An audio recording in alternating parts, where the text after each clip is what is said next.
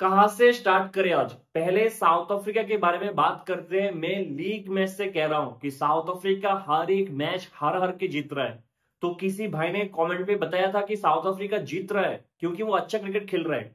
आपको ये चीज़ समझना चाहिए कि अगर आप साउथ अफ्रीका होके नेदरलैंड और नेपाल के साथ हार हार के जीत रहे हो, इसका मतलब है आप चोक कर रहे हो। इसका साफ़ साफ़ ये मतलब है कि आप चोक कर रहे हो और मैं पहले से कह रहा हूँ कि साउथ अफ्रीका इस टूर्नामेंट पे अच्छा क्रिकेट नहीं खेल रहा है। जिस स्टैंडर्ड का क्रिकेट साउथ अफ्रीका को खेलना चाहिए, उस स्टैंडर्ड का क्रिकेट साउथ अफ्रीका ने नहीं खेला है। ग्रुप स्टेज में मैं चीज़ कह रहा था। और अगर आप, आपसे कोई पूछे ना कि साउथ अफ्रीका की टीम के बारे में आपको क्या पता है, कल का मैच का एग्ज़ाम्पल टिपिकल एग्ज़ाम्पल होना चाहिए। आप उसको कहो कि साउथ अफ्रीका को फाइनल में जीतने के लिए फ़र्स्ट आईसीसी ट्रॉफी लिफ्ट करने के लिए, फ़र्स्ट वर्ल्ड कप जीतने के लिए 24 बॉल्स पे सिर्फ़ 26 रन चाहिए था। सिक्स विकेट्स इन हैंड, उधर से साउथ अफ्रीका इस फ्लैट पिच पे हार गया। South Africa should be the standard unit of choker.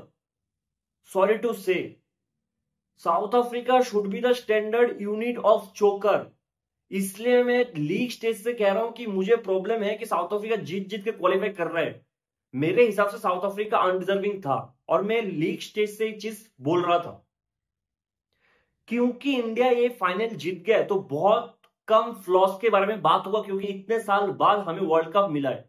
ठीक है, लेकिन क्या ये वर्ल्ड कप कल का मैच हमसे बैटिंग परफेक्ट हुआ है? इसमें एक सवाल है। और मैं पूरे वर्ल्ड कप में कह रहा था कि हमारा स्ट्रेंथ है बॉलिंग हमारा bowling out of the world है. हम एक वर्ल्ड कप बॉलिंग की वजह से जीता है. हम कल का फाइनल भी बॉलिंग की वजह से जीता है. बैटिंग की वजह से नहीं. बैटिंग में थोड़ा बहुत फ्लॉस थे. क्योंकि शायद विराट कोहली 59 बॉल्स खेल के 129 के स्ट्राइक रेट से बैटिंग किया है. क्योंकि अब विनिंग कॉज में आए कोई कुछ बात नहीं करेगा और करना भी नहीं चाहिए. लेकिन क्रिकेट बहुत ही फनी गेम है. आप सोचो, अगर एक इनिंग्स विनिंग कॉज पे आता है तो सब बोलते कि आप हीरो सेम इनिंग्स जब लूजिंग कॉज पे आता है, आप विलेन बन जाते हो। अगर कल इंडिया हार जाते तो मैं लिख के रह सकता हूँ, सबसे बड़ा ब्लेम विराट कोहली पे जाता। कि Virat Kohli 59 balls almost 10 over खेल गया 129 की स्ट्राइक रेट पे फाइनल पे, इस पिच पे। विराट कोहली तो चौकली है पूरा ब्लेम विराट कोहली पे जाता, आप मानते हो कि नहीं? अगर इंडिया हार जाता तो। सब यही कहते कि रोहित शर्मा, अगर 59 बॉल्स खेलता, रोहित शर्मा सेंचुरी मार देता। रोहित शर्मा ऐसे टुक टुक करके बैटिंग नहीं करता। इसलिए क्रिकेट बहुत ही फनी गेम है। सेम इनिंग्स विनिंग और लूजिंग कॉस्ट पे आपको विलेन और हीरो बना सकता है। सवाल ये भी था, जो हार्दिक पांड्या बहुत अच्छे फॉर्म में पूरे वर्ल्ड कप में, जिसके पास इतना पावर है, उसने फाइनल में सिर्फ़ दो बॉल खेला है क्या हार्दिक का थोड़ा ऊपर आना बनता नहीं था? मुझे पता नहीं किसके जगह कैसे, लेकिन हार्दिक को एटलीस्ट 15 20 बॉल्स खेलना चाहिए था। तो शायद इंडिया 190 तक पहुँच जाता। सवाल ये भी होता, अगर इंडिया हार जाता तो। क्या 176 इस पिच पे एनफ था? हाँ फाइनल के लिए शायद बहुत अच्छा स्कोर था, कि फाइनल का प्रेशर रहता है, लेकिन इस पिच पे जैसा फ़र्स्ट इनिंग्स पे चल रहा था बैटिंग मुझे लगता था कि इंडिया 10 टू 15 रन शॉर्ट था इस पिच पे टू बी वेरी ऑनेस्ट आप सोच के बताओ। आप सोच के बताओ अगर इंडिया हार जाते तो ये सब सवाल उठते। विराट कोहली के स्ट्राइक रेट पे सवाल उठते। हार्दिक पांड्या इतना कम बॉल खेलने को मिला, उसमें भी एक सवाल उठता। और क्या हमारा रन रेट सही था, उसमें भी एक सवाल उठता। लेकिन इस वीडियो को स्टार्ट करने से पहले ना, मैं सबसे पहले माफ़ी मांगना चाहूँगा। कहते हैं ना कि your apology needs to be as loud as your disrespect सबसे पहले तो मैं रोहित शर्मा से माफ़ी मांगना चाहूँगा कि मुझसे गलती हो गई है। कि मैंने इतना ज़्यादा क्रिटिसाइज किया रोहित शर्मा को थ्रू द आईपीएल और इसका रीजन भी है देखो जब मैं रोहित शर्मा या फिर विराट कोहली को क्रिटिसाइज करता हूँ, मैं क्यों करता हूँ? क्योंकि I want the best for my nation मैं चाहता हूँ कि हमारा नेशन ट्रॉफी उठाए। मेरा कोई मतलब पर्सनल दुश्मनी तो नहीं है। मैं तो पर्सनल इनको जानता नहीं हूँ, है ना? रोहित शर्मा और विराट कोहली दोनों ने डेढ़ साल टी ट्वेंटी क्रिकेट नहीं खेला था। फिर आईपीएल में आया रोहित शर्मा का आईपीएल परफॉर्मेंस बिलो एवरेज था। लास्ट तीन साल से बिलो एवरेज है। रोहित शर्मा ने टी ट्वेंटी वर्ल्ड कप में कभी अच्छा परफॉर्म नहीं किया है। तो ऑब्वियसली क्रिटिसाइज करना बनता था और हमने किया है। और मैं माफ़ी मांगना चाहता हूँ कि मैं रोहित शर्मा को डाउट किया हूँ। मैं माफ़ी मांगना चाहता हूँ विराट कोहली से भी कि मैं विराट कोहली पे डाउट किया है। हालाँकि जब से वर्ल्ड कप स्टार्ट हुआ है, शायद मैं वो अकेला इंसान हूँ जिसने विराट कोहली और रोहित शर्मा को फ़र्स्ट मैच से बैक किया है। अगर आप मेरे वर्ल्ड कप पे कोई भी वीडियो उठा के देख लोगे, आपको पता होगा कि मैंने विराट कोहली को हर एक मैच पे बैक किया है। जब विराट कोहली एक के बाद एक इनिंग्स पे फ्लॉप हो रहा था, मैं सिर्फ़ एक कह रहा था, फ़र्क नहीं पड़ता कि विराट कोहली कितना रन बना रहा है। हमें बस रिज़ल्ट से फ़र्क पड़ता है रिज़ल्ट हमारे फेवर में है तो फ़र्क नहीं पड़ना चाहिए कि विराट कोहली क्या कर रहा है। क्या पता विराट कोहली नेक्स्ट मैच पे कर दे। मैं जब सुपर एट खत्म हुआ, मैंने कहा था कि क्या पता विराट कोहली सेमीफाइनल में अच्छा कर जाए। जब विराट कोहली सेमीफाइनल में नहीं चला, मैं कहा था कि क्या पता विराट कोहली फाइनल में रन मार दे। तो अभी क्रिटिसाइज मत करो। मैंने पूरे टूर्नामेंट पे विराट कोहली को बैक किया है। जब विराट कोहली न्यूयॉर्क के पिचेस पे एज एन ओपनर एक के बाद एक मैच पे डक सिंगल डिजिट में आउट हो रहे थे, सबने क्या कहा? कि विराट कोहली को ओपनिंग एज एन ओपनर नहीं आना चाहिए। विराट कोहली पे, विराट कोहली को नंबर तीन पे भेज दो।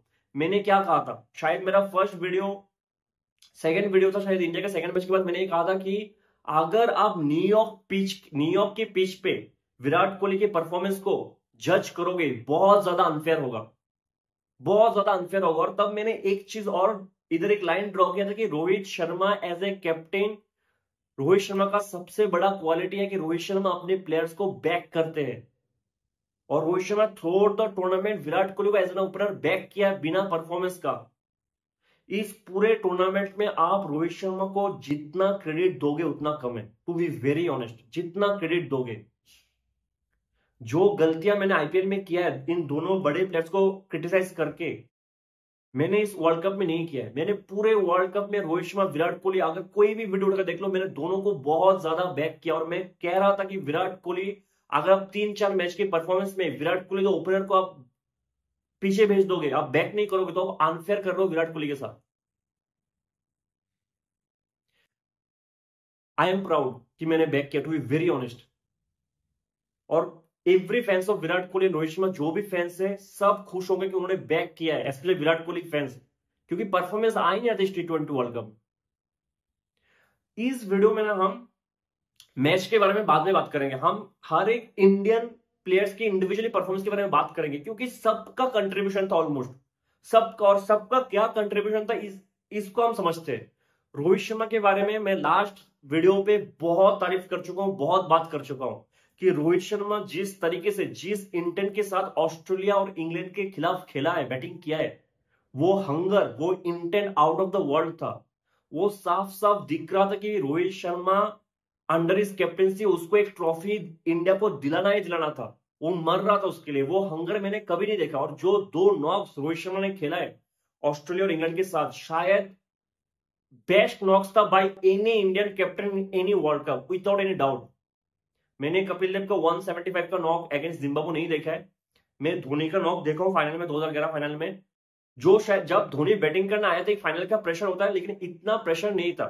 और ऑब्वियसली धोनी सब एक्सपेक्ट करते, वो अंडर प्रेशर वो कर जाता है, जो भी करना था तो लेकिन रोहित शर्मा ने जो किया है ऑस्ट्रेलिया इंग्लैंड के साथ आउट ऑफ़ द वर्ल्ड था। और पूरे टूर्नामेंट में जैसे रोहित शर्मा ने शिवम दुबे को बैक किया, जैसे रोहित शर्मा ने इंपोर्टेंट सिचुएशन पे हार्दिक को ट्रस्ट किया जितना बैक विराट कोहली को किया, बहुत ज़्यादा क्रेडिट जाता है रोहित शर्मा को, बहुत ज़्यादा, जितना तारीफ़ करोगे उतना कम है। विराट कोहली ने पूरे टूर्नामेंट में परफॉर्म नहीं किया फाइनल में परफॉर्म किया स्ट्राइक रेट थोड़ा कम था, लेकिन क्या फ़र्क पड़ता है? और आप एक चीज़ समझो, मैं तो यही कह रहा था अगर इंडिया हार जाता, और मैं वीडियो बना रहा था, अगर इंडिया हार जाता और कल हार जाता और फिर भी मैं अगर वीडियो बनाता आज तो मैं आपको सिर्फ़ एक ही चीज़ बोलता क्या विराट कोहली, कभी भी आपने देखा है विराट कोहली को ऐसे विकेट थ्रो करते हुए? फिर क्यों किया विराट कोहली ने टूर्नामेंट ऐसे विकेट थ्रो क्योंकि विराट कोहली एक भी बार अपने बारे में सोच नहीं रहा था। वो बस यही सोच रहा था कि जो वर्ल्ड कप से पहले माइंडसेट बना के लाया है कि मुझे एग्रेसिव क्रिकेट ही खेलना है, मुझे बस टीम के बारे में सोचना है। This is some top notch selflessness इसके लिए बहुत ज़्यादा गर्ड्स और करेज चाहिए कि आप अपने स्ट्रेंथ अपने नेचुरल गेम को इग्नोर करके आप सिर्फ़ टीम के लिए खेलो। बहुत ज़्यादा गर्ड्स चाहिए। और जब आप विराट कोहली जैसा प्लेयर हो, कि बाहर में जाए मेरा स्ट्रेंथ बाहर में जाए मेरा नेचुरल गेम मैं तो ऐसे ही खेलूँगा क्योंकि टीम को ही चाहिए मेरे से। आपको इसके लिए बहुत ज़्यादा गर्ड्स चाहिए। और कल अगर इंडिया हार भी जाता, विराट कोहली फेल भी हो जाता फाइनल में, फिर भी मैं यही चीज़ कह रहा था आपको। कि विराट कोहली ने जो किया इस वर्ल्ड कप में, वो सेक्रीफाइस किया है अपने आप को। उसकी खुद के बैटिंग स्टाइल को उसने सेक्रीफाइस किया है और आपको ये समझना पड़ेगा कि this is one of the best sacrifice any Indian players done for a World Cup Yuvraj Singh ने भी किया अपने हेल्थ को सेक्रीफाइस लेकिन विराट कोहली ने जो अपने बैटिंग फॉर्म को सेक्रीफाइस किया, अपने बैटिंग स्टाइल को सेक्रीफाइस किया है, बहुत बड़ा सेक्रीफाइस था इस वर्ल्ड कप में। नंबर तीन तीन पे ऋषभ पंत आता है। ऋषभ पंत के बारे में बात करते हैं। जब भी मौका मिला अच्छा किया। मानता हूँ कि लास्ट तीन मैच इंग्लैंड ऑस्ट्रेलिया और इसके साथ फाइनल में अच्छा नहीं किया है, मानता हूँ, लेकिन ऋषभ पंत जो माइंडसेट लेके आता है, बहुत बड़ा पॉजिटिव इंडिया के लिए, कि कुछ भी हो जाए शेल में नहीं जाना है। जब जो मौका मिला है डिसेंट परफॉर्म किया है।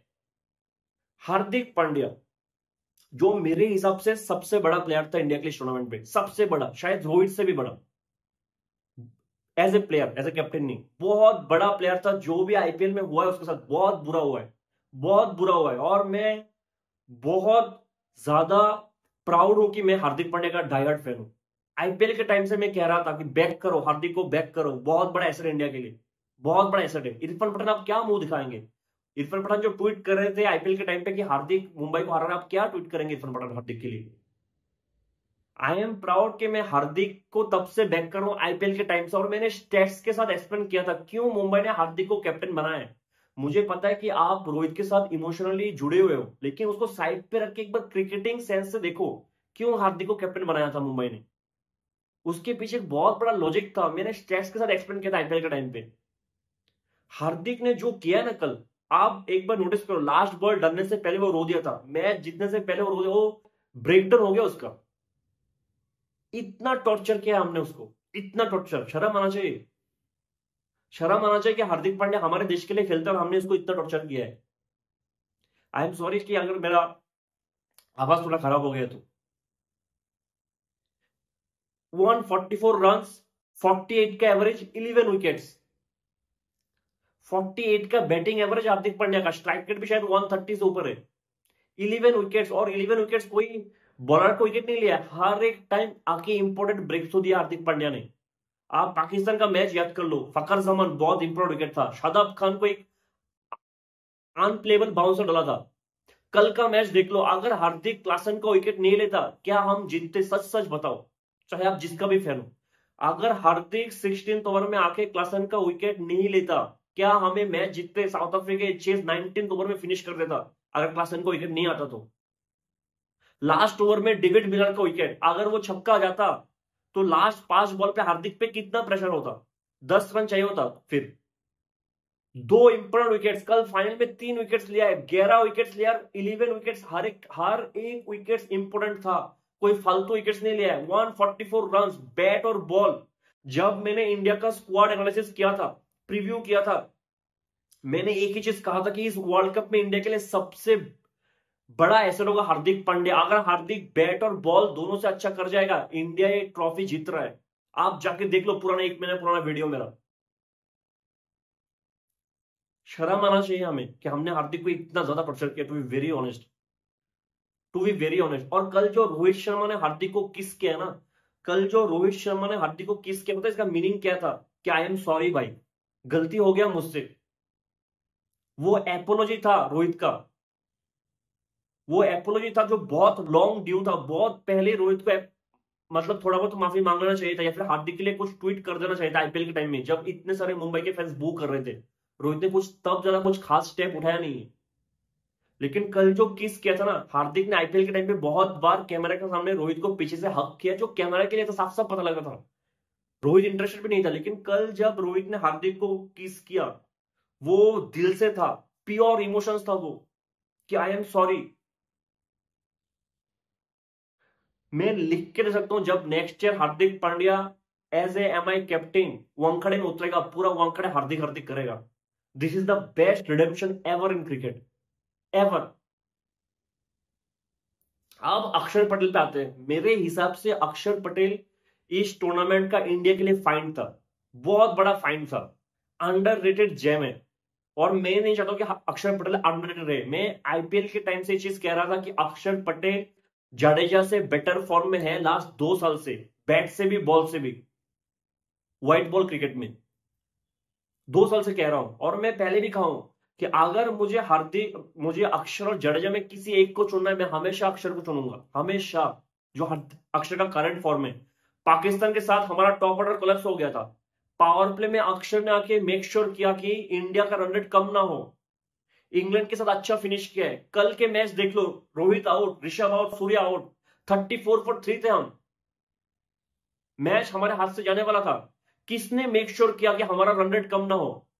विराट कोहली तब हंड्रेड के स्ट्राइक रेट में बैटिंग कर रहा था, एक सौ एक सौ पाँच के स्ट्राइक रेट में बैटिंग कर रहा था विराट कोहली। विराट कोहली दस बारह ओवर तक एक सौ पाँच, एक सौ दस के स्ट्राइक रेट में बैटिंग कर रहा था। लेकिन अक्षर पटेल ने मेक श्योर किया कि हमारा रन रेट आठ सेवन पॉइंट फाइव के नीचे कभी ना आए।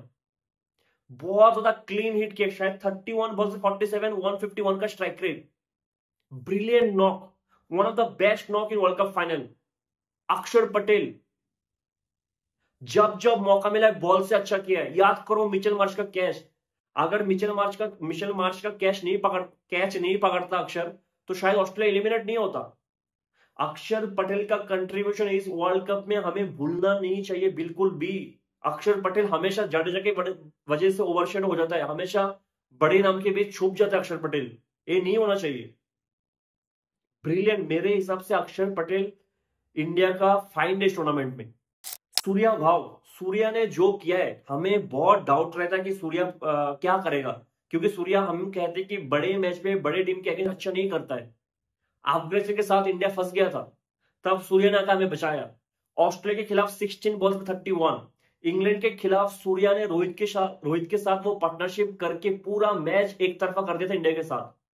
और अगर सूर्या कल डेविड मिलर का कैच नहीं पकड़ता, वो छक्का था। अंडर प्रेशर डेविड मिलर का कैच आप सोच नहीं सकते कितना डिफ़िकल्ट होता है। कैश लेना थोड़ा डिफ़िकल्ट लेकिन उस सिचुएशन पे आपके माइंड को कंट्रोल रखना बॉल पे फोकस रखना, और उस कैच को पकड़ना प्रेजेंस ऑफ़ माइंड कि पैर को कब बाहर करना है, कि आप अंदर करना है बॉल को कब हाथ से रिलीज़ करना है। कैच ऑफ़ द टूर्नामेंट था कैच ऑफ़ द टूर्नामेंट था इस वर्ल्ड कप में इंडिया के लिए सबने अच्छा परफॉर्म किया है। मैं जसप्रीत बुमराह और कुलदीप के बारे में ज़्यादा बात नहीं करूँगा क्योंकि वी आर ग्रेटफुल मैं कितना तारीफ़ करूँगा जसप्रीत बुमराह कुलदीप यादव का। एक वर्ल्ड का बेस्ट पेसर है, एक वर्ल्ड का बेस्ट स्पिनर है व्हाइट बॉल क्रिकेट में। There is no doubt in that और हमें प्राउड फील करना चाहिए कि दोनों हमारे देश के लिए खेलता है। कुलदीप और बुमराह का बहुत इंपॉर्टेंट रोल रहा है। जब तक कुलदीप और बुमराह होता है ग्राउंड में बॉलिंग के टाइम पे, हमें लगता है कि कुछ, हम कोई भी टारगेट को डिफेंड कर सकते हैं। There is no doubt in that हालाँकि कुलदीप का कल दिन खराब गया था, लेकिन कोई फ़र्क नहीं पड़ता। शिवम दुबे, जिसको सिर्फ़ एक ही प्लेयर है, शिवम दुबे, जिसको मैंने इस पूरे वर्ल्ड कप में बहुत ज़्यादा क्रिटिसाइज किया क्योंकि शिवम दुबे को जो रोल मिला था, वो उसको जस्टिफाई नहीं कर रहा था। To be very honest Virat Kohli को जो रोल मिला था, वो विराट कोहली अच्छा खेल नहीं रहा था लेकिन विराट कोहली उस रोल के लिए, उस पर्पज के लिए ही बैटिंग कर रहा था कि ओपनिंग पोजीशन में मुझे एग्रेसिव क्रिकेट खेलना है। विराट कोहली का पर्पज सही था। पर्पज से विराट कोहली हटा नहीं। लेकिन शिवम दुबे जिस पर्पज से खेल रहा था, उस पर जिस पर्पज की वजह से वो टीम में था, उस पर्पज के लिए शिवम दुबे बैटिंग नहीं कर रहा था। हालाँकि बड़े दिन फाइनल में शिवम दुबे शायद 16 बॉल्स पे 29 28 किया है। 169 का स्ट्राइक रेट है। बहुत ही डिसेंट नॉक था। इंपॉर्टेंट नॉक था, बड़े दिन पे आया और इधर भी मैं रोहित शर्मा को क्रेडिट देना चाहूँगा, क्योंकि लास्ट मैच पे हार्दिक पांड्या शिवम दुबे के ऊपर आया था, जडेजा शिवम दुबे के ऊपर आया था। बड़े दिन रोहित शर्मा क्या कहता शिवम दुबे को? कि तूने पूरे टूर्नामेंट में अच्छा नहीं खेला, कोई फ़र्क नहीं पड़ता। तू आज जाके अच्छा कर ले, कोई याद नहीं रखेगा कि तूने लीग स्टेज पे ग्रुप एट पे सेमीफाइनल पे क्या किया। कोई याद नहीं रखेगा। तू आज मौका है हीरो बनने का तो हीरो बन के दिखा। That's why Rohit Sharma is so special as a captain कि शिवम दुबे को कल ऊपर भेजा है बैक किया है। और मैं शॉक था। लेकिन शिवम दुबे ने अच्छा बैटिंग किया है। डिसेंट बैटिंग किया है, शायद उस लेवल का नहीं। डिसेंट बैटिंग किया है। तो फ़र्क नहीं पड़ता कि शिवम दुबे ग्रुप स्टेज में क्या किया था। एक प्लेयर जो इंडिया के लिए अच्छा नहीं किया, वो है जडेजा शायद उनके बॉलिंग से भी कुछ नहीं किया है बैटिंग से भी कुछ नहीं किया है। और मैं रियली एक्सपेक्ट कर रहा था क्योंकि विराट कोहली और रोहित शर्मा ने रिटर्न ले लिया। मैं रियली एक्सपेक्ट कर रहा था कि जडेजा भी कल शायद रिटर्न ले लेंगे। और मुझे लगता है कि शायद एक हफ़्ते में ले लेना चाहिए। अगर नहीं लेता तो भी कुछ प्रॉब्लम नहीं है। जडेजा को मैं इतना क्रिटिसाइज नहीं करूँगा। मैं आईपीएल के टाइम में जडेजा को बहुत ज़्यादा क्रिटिसाइज किया हूँ। हालाँकि Jadeja one of my favourite allrounder है, लेकिन आपको ये समझना पड़ेगा कि जडेजा भी थोड़ा बहुत इरेप्रेसेबल प्लेयर्स में आता है। जडेजा को रिप्लेस करना बहुत मुश्किल है। क्योंकि एक कैप्टन का ड्रीम होता है कि उस टीम में जडेजा हो। टू बी वेरी ऑनेस्ट अगर आप एक कैप्टन हो, आपका ड्रीम होना चाहिए कि जडेजा जैसा प्लेयर मेरे टीम में हो। जो फील्डिंग से आपको टेन ट्वेल्व रन बचा के दे सकता है, जो आपको, आपके बैटिंग लाइनअप को इतना डेप्थ बना सकता है, जो आपको चार ओवर दे सकता है, जो आपको ओडिया क्रिकेट में दस ओवर बॉल करके दे सकता है। जडेजा जैसा प्लेयर मिलना बहुत ज़्यादा मुश्किल है। मुझे पता है कि एक फ़ैन फ़ैन बेस को जडेजा से बहुत ज़्यादा प्रॉब्लम है, लेकिन होना नहीं चाहिए। जब जडेजा रिटर्न ले लेंगे तो आपको पता लगेगा कि जडेजा को रिप्लेस करना भी हमारे लिए मुश्किल होगा। क्योंकि बहुत ज़्यादा, एक बहुत ज़्यादा लाइसेंस देता जडेजा कैप्टन को, कि मैं हूँ आप ऊपर से कुछ भी करो। ठीक है? हालाँकि मैं मानता हूँ जडेजा को रिटर्न लेना चाहिए था टी ट्वेंटी से कल ही। इससे बेटर टाइम हो नहीं सकता था।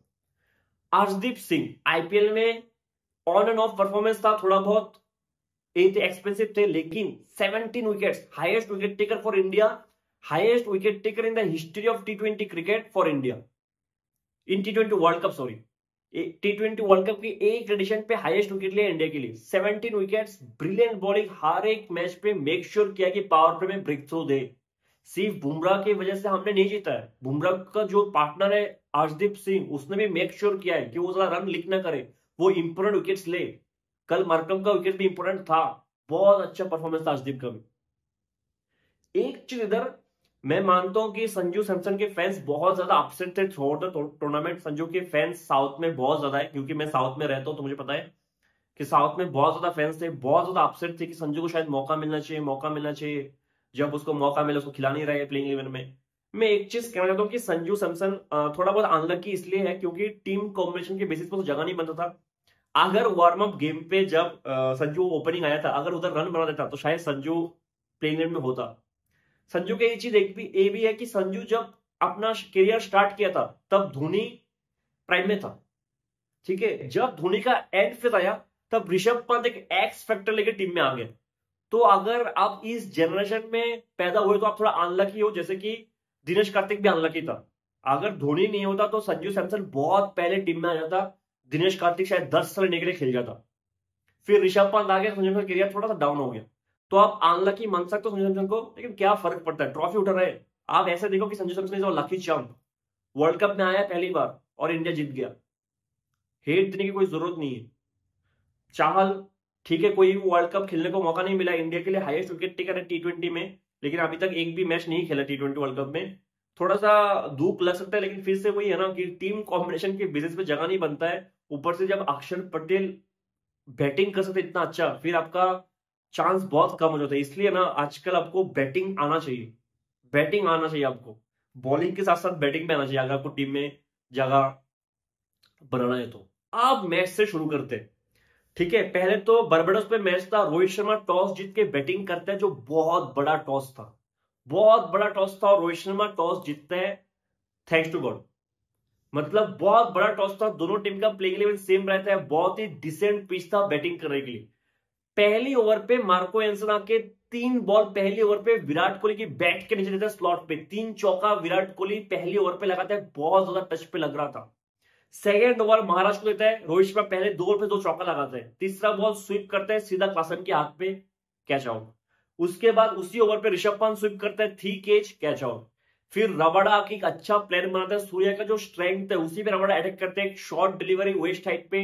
उधर ही फील्डर रखता है, सूर्या खेलता है जो अपना स्ट्रेंथ पे catch out thirty four for three और लग रहा था कि इंडिया फंस गया इधर।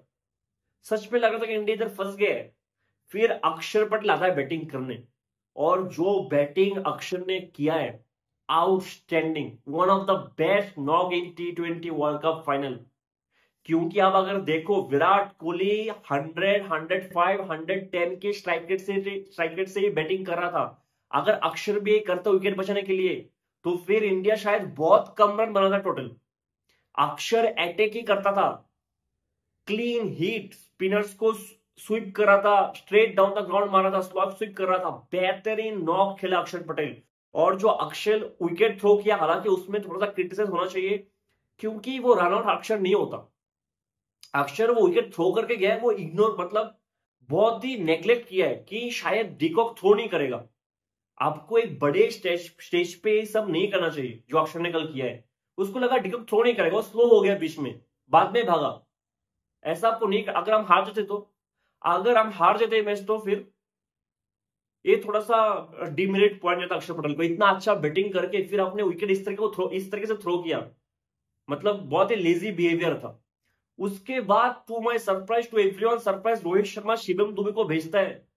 और शिवम दुबे कल अच्छा बैटिंग करता है। हालाँकि विराट कोहली 48 बॉल्स पे 50 बनाता है, जो मैं बहुत ही डाउटफुल था कि क्या विराट कोहली सही इनिंग्स खेल रहा है। और मैं यही चीज़ आपको कह रहा था कि अगर इंडिया हार जाता ना, पूरा ब्लेम विराट कोहली पे आता। आज ट्विटर पे चोकली ट्रेंड कर रहा होता, अगर इंडिया हार जाता तो। लोग यही कहते ना कि रोहित शर्मा अगर 59 बॉल्स खेलता रोहित शर्मा तो सेंचुरी मारता। एक ऐसा नॉक है, दस ओवर खेल गया वन ट्वेंटी नाइन के स्ट्राइक रेट पे। और मुझे थोड़ा बहुत डाउट था कि क्या विराट कोहली थोड़ा सा लेट हो गया गियर चेंज करने में। क्योंकि इसके बाद भी बहुत ज़्यादा बैट्समैन बाकी था। फिफ्टी के बाद हालाँकि विराट कोहली ने अपना गियर चेंज किया है। रबाडा के ओवर पे एक छक्का मारता है, चौका मारता है। फिर मार्को एंसन के एक ओवर में एक चौका, एक छक्का मारता है। फिर तीसरे ओवर जब मारना है, तब आउट होता है। हालाँकि बहुत अच्छा नॉक था इस पिच पे। मार्को यांसन मार्को यांसन ने कोई भी मतलब रास्ता नहीं छोड़ा है साउथ अफ्रीका हराने के लिए। उसने सब दे दिया ताकि साउथ अफ्रीका हार जाए। किस बेसिस पे मार्को एनसन का जगह बनता टीम में समझ लो आप। अगर आप साउथ अफ्रीका के फ़ैन होते ना क्रिकेट फ़ैन तो आप एक बार सोचते कि मार्को एंसन का टीम में जगह कैसे बनता है? क्योंकि मार्को एंसन से बेटर बॉलर तो बाटमैन है। मार्को एंसन से बेटर बॉलर तो जेरल कॉर्जी है। फिर मार्को एंसन का जगह कैसे बनता है? क्योंकि मार्को एंसन को बैटिंग आता है। और जब बैटिंग आता है वो बैट, बैटिंग भी नहीं करता है। ये match South Africa Marco Jansen की वजह से हारा है। सिर्फ़ मार्को एंसन की वजह से। उसको बॉलिंग आपको उसका बॉलिंग देखो कल, उसका अगर आप देखोगे बॉलिंग हर एक बॉल स्लॉट पे पिच कर रहा है। हर एक बॉल ओवर पिच्ड बहुत ही घटिया बॉलिंग बहुत ही घटिया बॉलिंग इसलिए वो सनराइजर्स हैदराबाद से ड्रॉप हुआ है। इसलिए मुंबई ने भी उसको निकाल दिया था आईपीएल से। बस हाइट है उसके पास। बैटिंग कर लेते इसलिए टीम में है, क्योंकि साउथ अफ्रीका के पास ऑलरेडी बैटिंग डेप्थ बहुत कम है। मेरे को तो पता नहीं लगता कि क्या मिलता है यानसन को टीम में रख के। ना बैटिंग करके देता है, ना बॉलिंग करके देता है। पूरा match South Africa point of view से अगर बात करूँ तो यानसन हरा के गया है। जब विराट कोहली आउट हुआ नाइनटीन ओवर में, फिर शिवम जडेजा आता जडेजा भी लास्ट ओवर पे आउट होता है।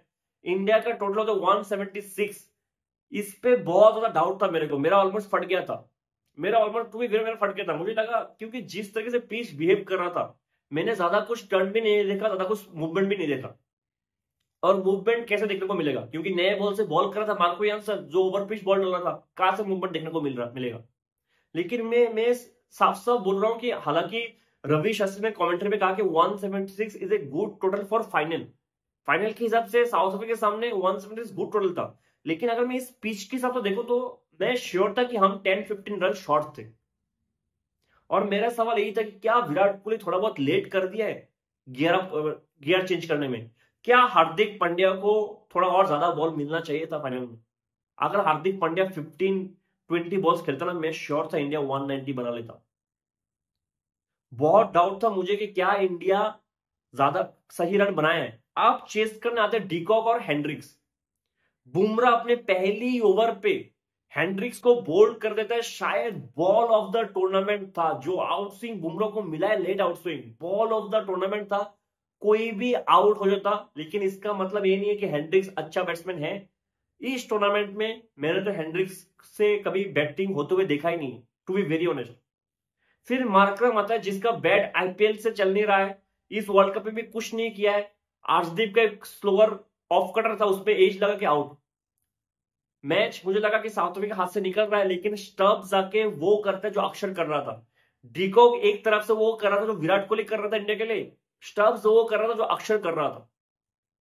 बहुत अच्छा क्रिकेट खेला था स्टब्स लेकिन अक्षर के शायद नाइन्थ ओवर पे नाइन्थ ओवर पे शायद तब साउथ अफ्रीका का स्कोर था seventy one for two match almost South Africa India से दूर लेके जा रहा था। स्टब्स ने ना, उधर विकेट थ्रो किया। अगर स्टब्स जगह पे खड़ा होता तो फुल टॉस मिलता स्टब्स को। बहुत ज़्यादा एक्रोस चला गया था क्लीन बोल्ड फिर बैटिंग करना था क्लासन बारह ओवर के बाद साउथ अफ्रीका का स्कोर होता है hundred one for three. Thirteen over में आर्शदीप आके डिकोक को आउट कर देता है। फिर क्लासन जो बैटिंग करता है, शायद कुलदीप के फोर्टीन ओवर में फोर्टीन रन आता है। कुलदीप बहुत ज़्यादा एक्सपेंसिव था, चार ओवर पे forty five run. Fifteen over डालना था अक्षर पटेल, जो शायद एक सेकेंड में एक ओवर की वजह से हीरो से विलेन बन जाता कल।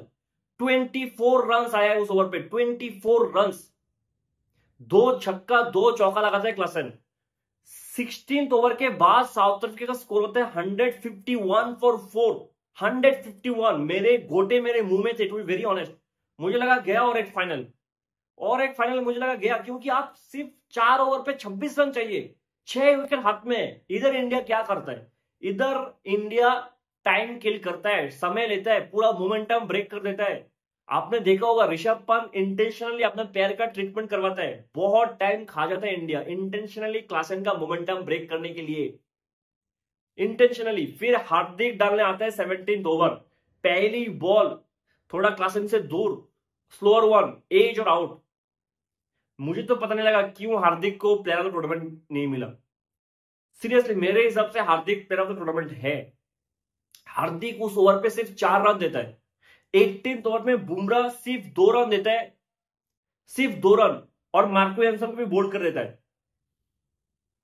नाइनटीन ओवर में आजदीप सिर्फ़ चार रन देके जाता है। आप लास्ट ओवर में चाहिए सोलह रन।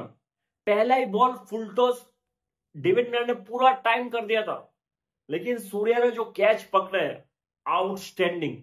आउटस्टैंडिंग, अंडर प्रेशर ऐसा कैच पकड़ना, मैच उधर ही खत्म साउथ अफ्रीका के लिए। आप बस साउथ अफ्रीका दुआ कर सकते थे कि रवाडा छक्का चौका मार दे। लेकिन हुआ नहीं है। सात रन से इंडिया मैच जीत जाता है। सात रन से इंडिया मैच जीत जाता है। फाइनली फाइनली हम एक आईसीसी ट्रॉफी लिफ्ट करते हैं, जो बहुत ही वेल डिजर्व था। जो बहुत ही वेल डिजर्व था। विराट कोहली और Rohit Sharma T twenty cricket से रिटेल ले, लिया है। और इससे बड़ा मुझे लगता नहीं, इससे बड़ा कोई ओकेजन हो सकता रिटायरमेंट लेने के लिए बेहतरीन क्रिकेट खेला है। दोनों ने throughout throughout career थोड़ा बहुत नीचे चल रहा था, रोहित शर्मा का T twenty to be very honest लेकिन हाई नोट पे एंड किया और इससे बेटर शायद आपको ओकेशन नहीं मिल सकता रिटायरमेंट लेने के लिए। हाई नोट पे एंड किया है। इतना दुखी होने की कोई बात नहीं है। हमारे यंग जनरेशन तैयार है। बहुत सारे ओपनर्स है हमारे पास। Hats off to Virat Kohli Rohit Sharma.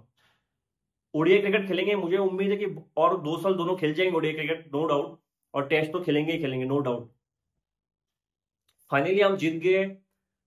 माफ़ी मांगना चाहूँगा फिर से, अगर मैंने कुछ गलती कर दिया हो, और thanks for all the support मिलते हैं अगले वीडियो में, तब तक के लिए, जय हिंद।